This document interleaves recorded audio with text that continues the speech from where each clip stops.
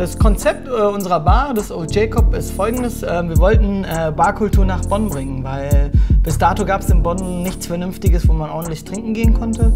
Und ähm, das war unser Ziel von Susi und mir, dass wir Konzept entwickeln, das letztendlich den Genuss der Drinks plus das richtige Ambiente zusammenpackt.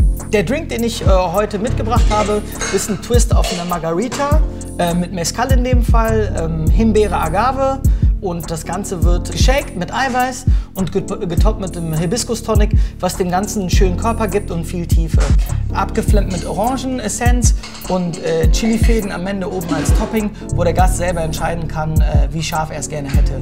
Schärfe ist ein absolut subjektives Thema, äh, was ich auch wichtig finde, dass der Gast selber entscheiden kann, äh, wie scharf und in welche Richtung er gehen möchte. Spannender Drink, äh, spannende Spirituose, spannender Filler sorgen dafür, dass du einen komplexen Drink hast, den du aber auch am Wochenende ganz entspannt trinken kannst, ohne dass der Drink dich äh, zu sehr ähm, überfordert. Wenn ihr irgendwann mal in der Nähe seid von Bonn, würden wir euch sehr, sehr gerne begrüßen im Old Jacob. Ähm, demnächst gibt es auch einen zweiten Ableger, dazu aber folgen Infos äh, später.